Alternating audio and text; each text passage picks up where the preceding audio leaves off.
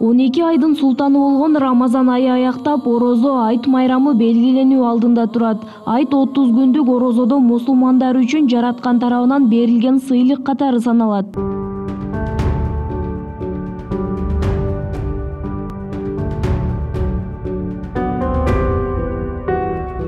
Мусулмандарга эки майрам кылып эки айтты берген кудай таалам. Ошобу бири ороз айт бири курбан айт. Ошол күнү эми ата энелерди урматтап бала чаканы карап. Өлкөбүздө орозо айт онунчу апрелде белгиленет. Бул тууралуу дин башкармалыгынан кабарлашты. Ислам шариятында рамазан айынын башталуусу жана аяктоосу айдын жаңырышына карап аныкталат.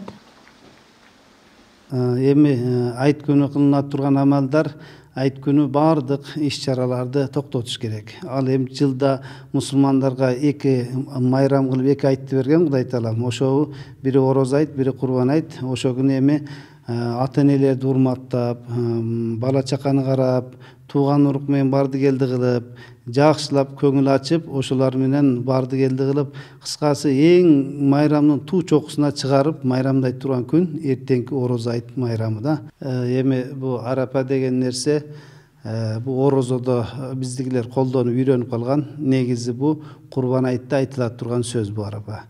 Себеби курбан айтта бир күн айттан бир күн алдын арафат тоосуна чыгабыз да ошо арафат тоого чыкканда арапа күнү деп коет ошон үчүн ал курбан айттан бир күн алдыңкы күндө айтыла турган бул сөз.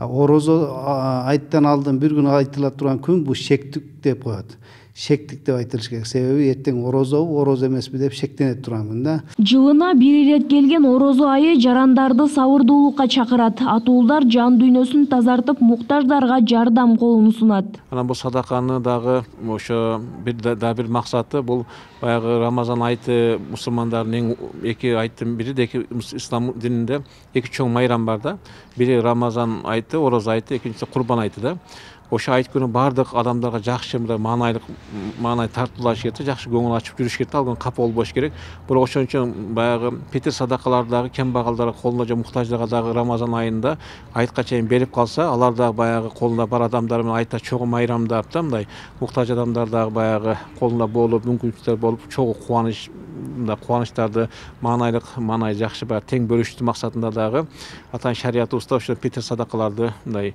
милдеттүү кылып байларга атайын беришке шарият кылынган да айт намазы быйыл мечиттерде окулмай болду анда атайын кызматтагылар коомдук коопсуздукту тыкыр көзөмөлгө алышат биздин жарандарыбыздын жеке коопсуздугун сактоо максатында эртеңки орозо айт намазы мечиттерде чоң жалпы мечиттерде окула турган болду айт намазы учурунда коомдук коопсуздук камсыздоо максатында жалал абад областық башкарманын жалпы областтын аймагында сегиз жүз элүүдөн ашуун кызматкер ошондой эле эки жүз элүүдөн ашуун элдик кошумдар кызмат өтөшөт орозо айт айт намазын окуу менен башталат. Быйыл айт намаз мечиттерде гана окулат. Муфтият муну дүйнө жүзүндө болуп жаткан кырдаал менен байланыштырган. Нуриза хамракулова шайыр зайырбек уулу жетинчи канал жалал абад